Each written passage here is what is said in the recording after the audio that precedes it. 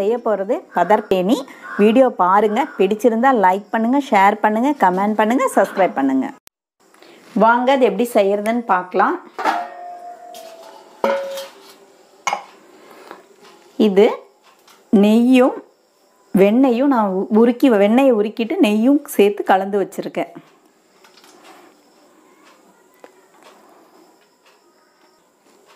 இது ஒரு மூணு ஸ்பூன் விட்டிருக்கேன்.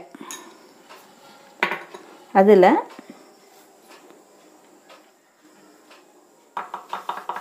இந்த மாவுக்கு தேவையான அளவு உப்பு. அதுவும் போட்டுட்டு இது கார்ன்ஃப்ளவர் மாவு.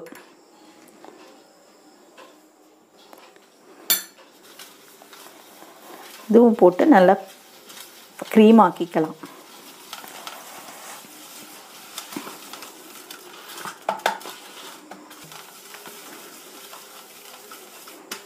இந்த மாதிரி நல்லா க்ரீம் ஆற வரைக்கும் இது மூணையும் போட்டு நல்லா கலந்துக்கணும்.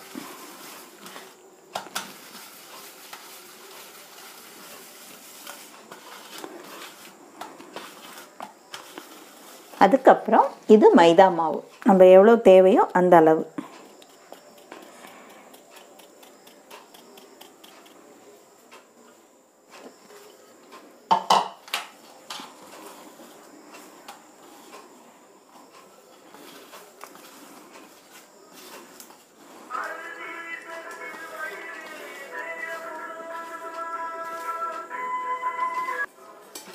இப்போ நல்லா கலந்துட்டு அதுக்கப்புறமா நம்ம தண்ணி சேர்த்து மாவு பிசைஞ்சிக்கலாம்.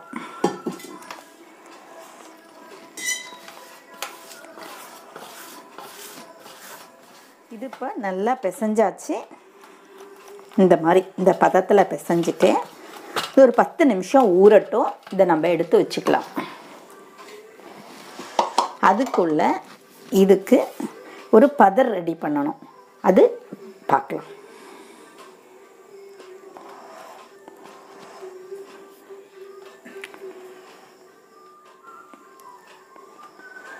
ஏழு ஸ்பூன் விட்டுருக்கேன் நான்.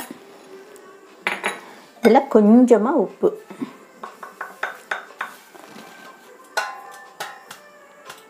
இந்த அளவு போதும். ஒரு பிஞ்ச் அளவு போதும்.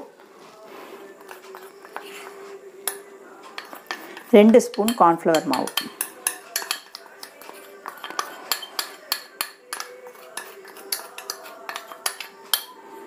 போட்டு இது நல்லா கலந்துக்கலாம்.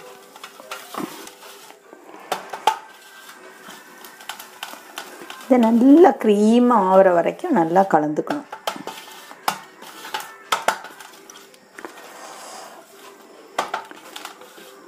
இந்த மாதிரி நல்லா க்ரீம் ஆகணும். ஒரு அஞ்சு நிமிஷமோ பத்து நிமிஷமோ இந்த மாதிரி நல்லா கலக்கிக்கோங்க.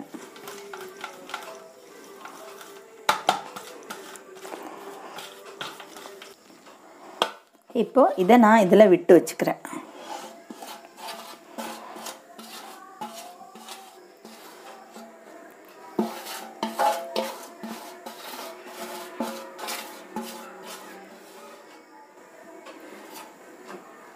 இதுவும் இருக்கட்டும். இப்போ இதெல்லாம் நம்ம சப்பாத்தி மாதிரி திரட்டிக்கலாம் நல்லா.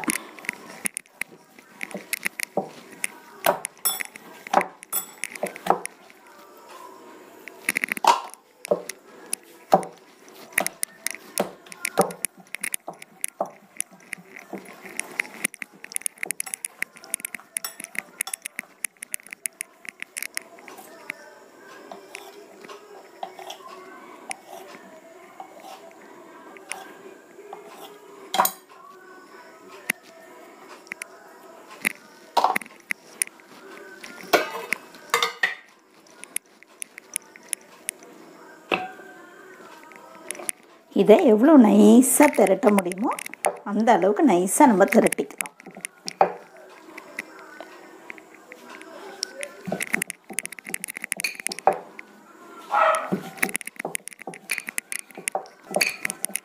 இப்போ இந்த மாதிரி நம்ம எல்லாத்தையும் திரட்டிக்கலாம்.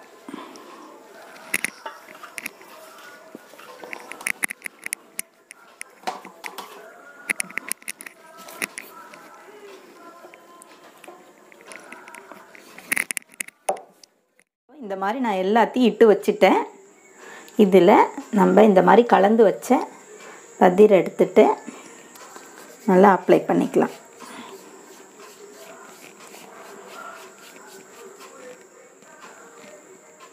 எல்லா இடத்துலையும் படுற மாதிரி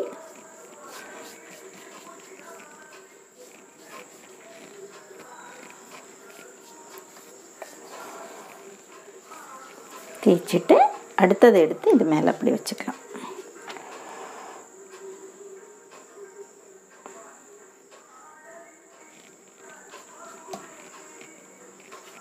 இப்போ வந்து லீவ் விட்டுருக்கிறதுனால குழந்தைங்களுக்கு வந்து அவங்க சாப்பிட்றாங்களோ இல்லையோ நொறுக்கு தீனி நல்லா வேண்டி வரும்.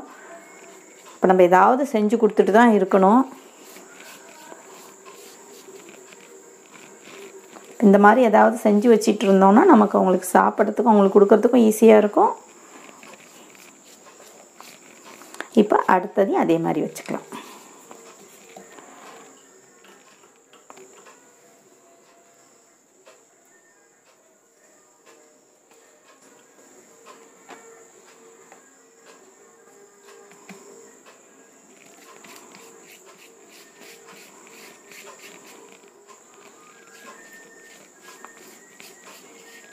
ஒரு இதில் சில பேர் அஞ்சு வைப்பாங்க சில பேர் ஏழு வைப்பாங்க. நான் வந்து நாலு தான் வைக்கிறேன். நம்ம இஷ்டம் அது. எவ்வளோ வேணாலும் நம்ம இதாக்கலாம். அதுக்கேற்ற மாதிரி அது நல்லா லேயர் லேயராக வரும்.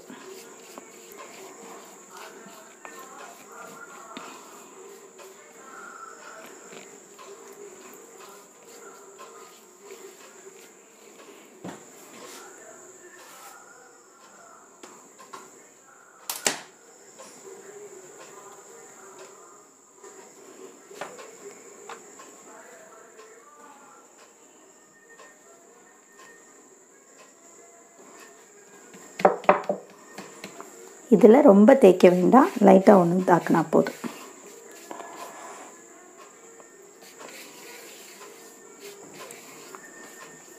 இப்போது இது எல்லாத்தையும் எடுத்துட்டு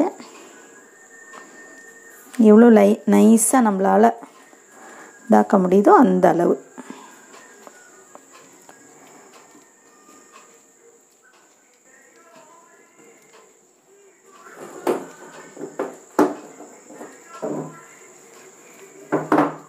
இதை வந்து நல்லா ஒட்டிட்டு இந்த மாதிரி நல்லா.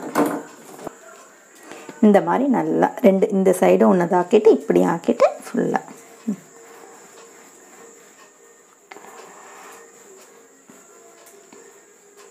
இந்த மாதிரி பண்ணிவிட்டு இது அப்படியே இருக்கட்டும்.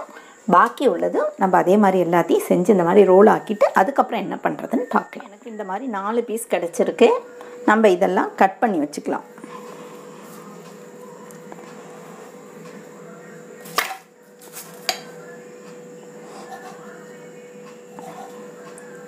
ஃபஸ்ட்டு இதை எடுத்துருங்க அது வேண்டாம்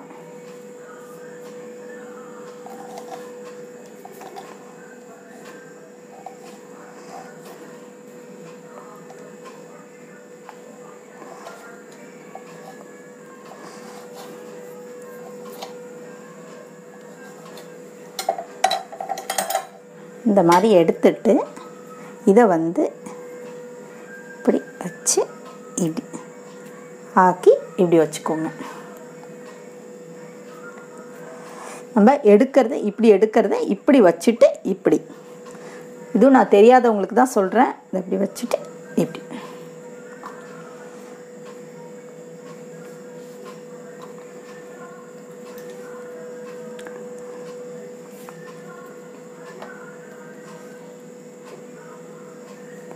எடுத்துட்டு இப்படி.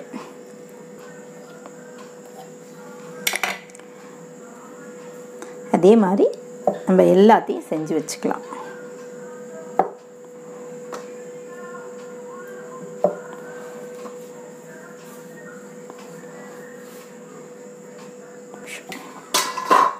இப்போ இந்த மாதிரி எல்லாத்தையும் இப்படி பண்ணி வச்சுக்கலாம். நான் கடாய் வச்சுட்டு எண்ணெய் விட்டுருக்கேன். அது ஒன்று தட்டி வச்சாச்சு. இனி ஆயில் இது இப்போ நம்ம எல்லாம் பண்ணி வச்சுட்டோம். ஆயில் சூடானோன்னு பொரிச்சுக்கலாம்.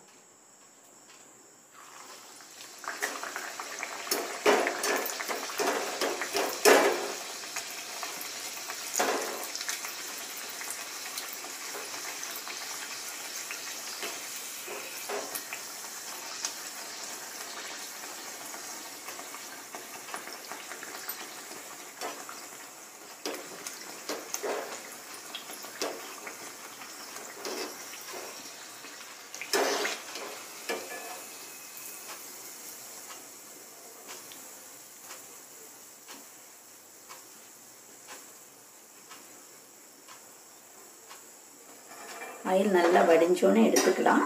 இது சூடாக இருக்கும்போதே இப்படி இருக்கும்போதே இதில் கொஞ்சம் பவுடர் சுகர் அதை அப்படி மேலே போட்டு விட்டுடலாம். அதே மாதிரி நம்ம அடுத்ததும் பொரிச்சுக்கலாம்.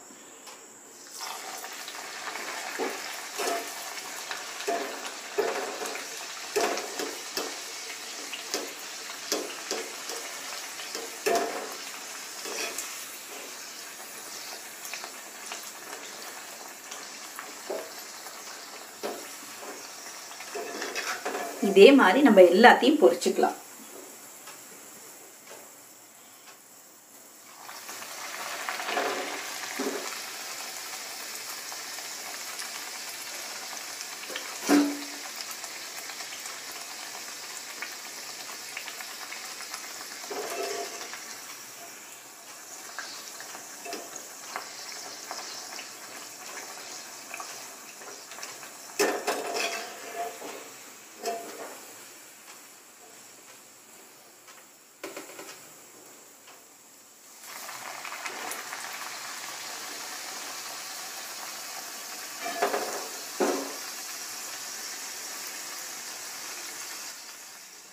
இப்போ நான் எல்லா பதப்பேனையும் செஞ்சு முடிச்சுட்டேன். இந்த பவுடர் சுகர் தூவுறதுனால இதோட மொறுமறுப்பு போகாது. ரெண்டு மூணு நாள் ஆனாலும் இதோட மொறுமறுப்பு அப்படியே தான் இருக்கும். இதே மாதிரி இதே அளவோடு செஞ்சு பாருங்கள் அடுத்த வீடியோவில் பார்க்கலாம். பாய்